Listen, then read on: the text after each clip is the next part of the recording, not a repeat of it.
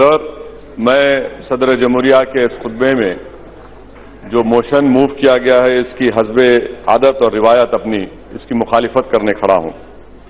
سر، موجودہ وطن عزیز کے جو، کا جو ماحول ہے، جو پراشوب دور ہے، اس پر کسی ایک شاعر نے بڑا خوب کہا، اس میں پہلے مصرے میں ترمیم کر کے کہنا چاہوں گا کہ حکمران ہو گئے بہرے اور اندھے لوگ۔ حکمران ہو گئے بہرے اور اندھے لوگ خاک میں مل گئے نگینے لوگ، ہر محب وطن زلیر ہوا، رات کا فاصلہ طویل ہوا۔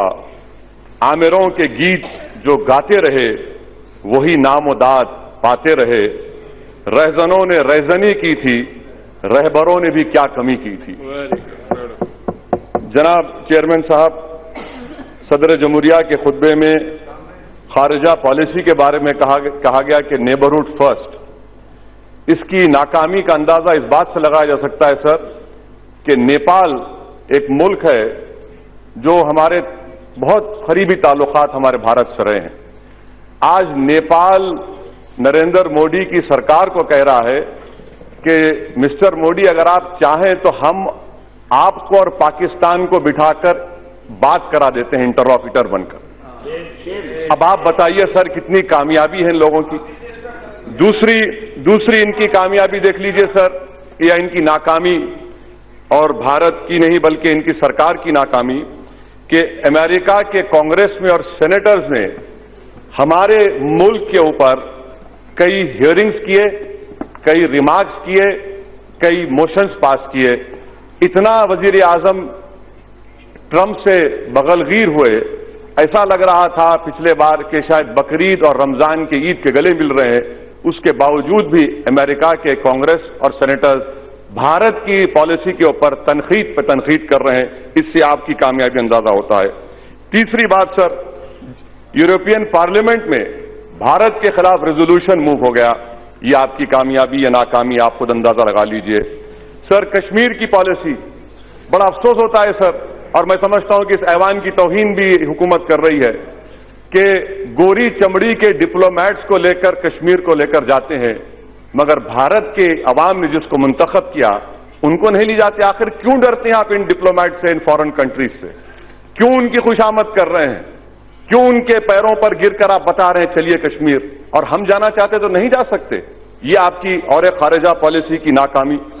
سر اور ایک مثال دے رہا ہوں sir F A T F F A T F میں جاپان جو ہمارا ملک دوست رہا، اس نے پاکستان کے حق میں ووٹ دے دیا، امریکہ دے دیا۔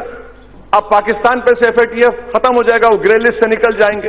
یہ ان کی خارجہ پالیسی رہی، سر۔ افغانستان میں طالبان آ رہا ہے۔ امریکہ کہہ رہا ہے کہ چھابار پورٹ میں بھارت نہیں بنا سکتا پورٹ۔ کل طالبان وہاں پر آئے گا تو ہم کیا کریں گے پھر؟ آپ کے پاس اس کا کوئی اندازہ نہیں ہے۔ اچھا سر، اب آپ آ جائیے۔ حق سبسڈی کو نکالا گیا تھا۔ سات سو کروڑ کی سبسڈی نکالے، میں نے خود کہا تھا۔ کہاں گئے وہ پیسے؟ سات سو کروڑ میں آپ نے کتنے مسلم مہیلاؤں کے لیے اسکول کھولے؟ زیرو صفر۔ اور آج آپ کہتی ہیں کہ اسکالرشپ سر ہر سال میم ڈیمانڈ کر رہے ہیں کہ مائنورٹیز کے لیے، اقلیتوں کے لیے ڈیمانڈ ڈریون اسکالرشپ کریے۔ آپ نہیں کرتے۔ اور نہیں کرنے کی وجہ سے ہر سال کم سے کم بیس لاکھ مسلم لڑکے اور لڑکیاں اسکالرشپ سے محروم ہوتی ہیں۔ اچھا سر، آپ دیکھ لیجیے جو پیسے دیے گئے تھے۔ جو پیسے دیے گئے تھے دو ہزار اٹھارہ اور انیس میں، اس میں سے آپ نے ایک سو ستر کروڑ روپے ختم دیے ہی نہیں۔ انیس بیس میں آپ نے نومبر تک صرف ستاویس فیصد پیسے ریلیز کیے اور پھر آپ بڑی بڑی باتیں کرتے۔ ہنر ہٹ کا ذکر صدر جمہوریہ نے کیا۔ اس میں بھی جھوٹ، سر۔ جھوٹ کا اندازہ لگائیے کہ خود گورنمنٹ کا میں نے آر ٹی اپلیکیشن ڈالا جس میں کہا گیا کہ دو ہزار اٹھارہ انیس میں خالی بارہ ہزار کے قریب آرٹیزنس کو، سوری، ایک ہزار دو سو ستاویس آرٹیزنس کو ہنر ہٹ میں ٹریننگ دی گئی۔ آپ کہتے ہیں ہزاروں، یہ آرٹی ایک آئی اپلیکیشن ہے۔ سر تیسری جو اہم بات میں آپ کے سامنے ذکر کرنا چاہ رہا تھا کہ theory of separation of power یہ ہمارے ہر جمہوریت کے لیے بنیاد ہوتی ہے۔ مگر ساڑھے پانچ سال میں تو تھیوری آف سپریشن پاورز کی دھجیاں نہیں، بلکہ اس کو نست و نابود کر دیا گیا۔ کوئی چیز آزاد نہیں ہے آج۔ تھیوری آف سپریشن پاور ختم ہو کے سینٹرلائزیشن آف پاورز بن چکا ہے یہاں پر۔ ایک ہی شخص کے ہاتھ میں پورا پاور آ چکا ہے۔ جو سپریشن آف پاورز میں عدلیہ تھی لیجسلیچر ایگزیکیوٹیو اب لگتا ہے کہ ایک ہی فرق میں یہ تمام چیزیں سما جا چکی ہیں، جو ہماری جمہوریت کے لیے بہت بڑا خطرہ ثابت ہو رہا ہے، سر۔ چوتھی بات، سر، جس کا ذکر میں آپ کے سامنے کرنا چاہ رہا ہوں کہ سرکار بار بار کہتی ہے کہ اور سٹیزن امینڈمنٹ ایکٹ سر، اس پارلیمنٹ کی تاریخ میں یہ پہلا قانون بنایا گیا جس میں مذہب کا نام لے کر ہندو، مسلمان، بودھ، عیسائی، پارسی، کبھی ستر سال میں اس طرح کا کوئی قانون نہیں بنا اس اس پارلیمنٹ میں۔ وہ وہ بھی بدنما داغ کا اعزاز آپ کو حاصل ہے کہ آپ نے مذہب کے نام پر قانون بنایا۔ Sir, N P R, N R C کے بارے میں آج ایک سوال کے جواب میں حکومت نے کہا کہ till now till now this no no decision N R C taken. Sir, یہ ٹل ناؤ کا مطلب کیا ہے سر یہ؟ ٹل ناؤ کا مطلب کیا ہے؟ آج اور کل ہوگا نا۔ کل ہوگا پرسوں ہوگا۔ نہیں اس میں لکھا ہے ابھی تک۔ ابھی تک۔ کبھی تک کبھی نہیں لکھا ہوا ہے نا سر۔ ابھی تک۔ Till now. سر سر اب آپ اب آپ دیکھیے سر میں آپ کے ذریعے سے گورنمنٹ کو کہہ رہا ہوں۔ جی یس سر میں تھمز اپ ہوں آپ شیکسپیئر پڑھے ہیں مجھے معلوم۔ اور اور میں آپ کو کہہ رہا ہوں کہ ابھی سر سر میں ابھی حلوہ اور پوہا کھا کے آؤں اس لیے اچھا بول رہا ہوں۔ ہاں۔ تو تو سر یہ یہ این پی آر اور این آر سی کا میں ذمہ داری کے ساتھ عرض کر رہا ہوں۔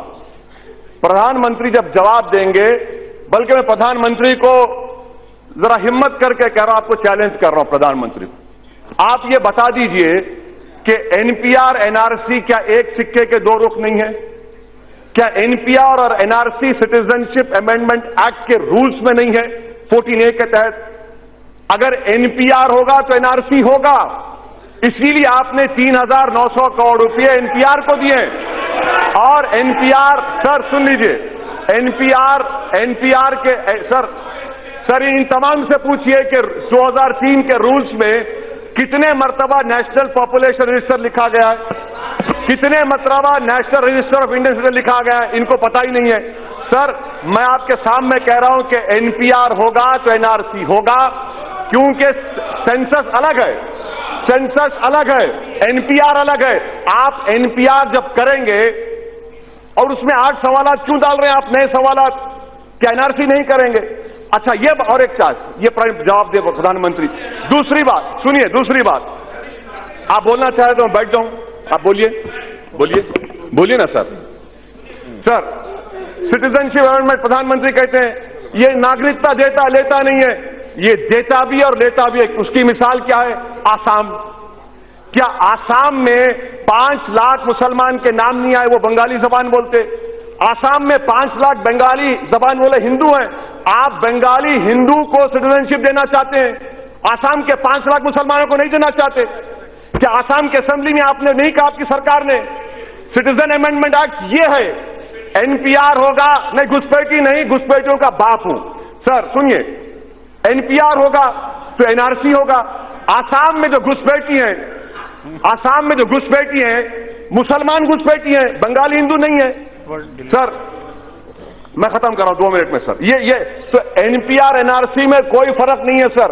N P R N R C ایک ہی ہے، سر۔ این پی آر ہوگا تو این آر سی ہوگا۔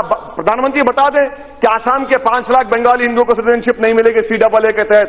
سر آخری میں، سر، میں آپ کو بتانا چاہوں گا کہ یہ جو ملک میں جو ماحول ہے، پردھان منتری اور گورنمنٹ کے لیے کیوں ہو رہا ہے احتجاج؟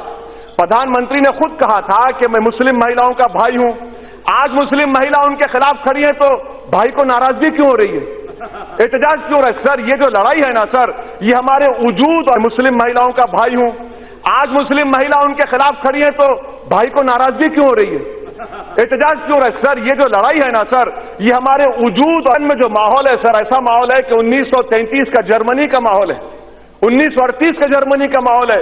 انیس سو اڑتالیس کا، تھرٹی ایٹ کا مسلینی کا ماحول ہے۔ آج ہر جگہ پر، اب صرف باقی کیا رہ گیا معلوم سر؟ باقی ہٹلر نے بھی انہیں سینسس کیا تھا۔ اس کے بعد یہودیوں کو گیس کا چیمبر میں ڈال دیا۔ مسلوں نے بھی 1938 میں سینسس کیا تھا، اس کے بعد پوری جائیداد روما اور یہودیوں کی چھین لی۔ اب وہی حال یہاں پر ہونے والا ہے مسلمانوں کے ساتھ۔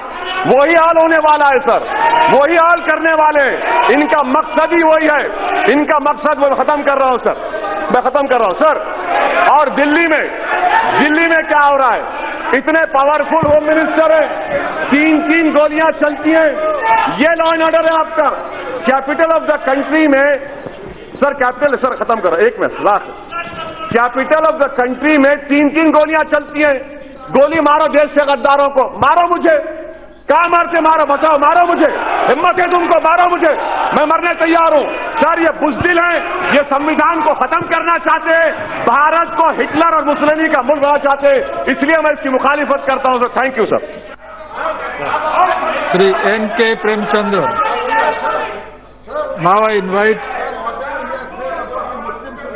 gas chamber that has to be expand سرک Harry unconstitutionally and this is not this not he Y آپ کا بھائی کیا آپ کے بھائی کیا آپ کا بھائی کیا پندرہ منٹ واٹر واٹ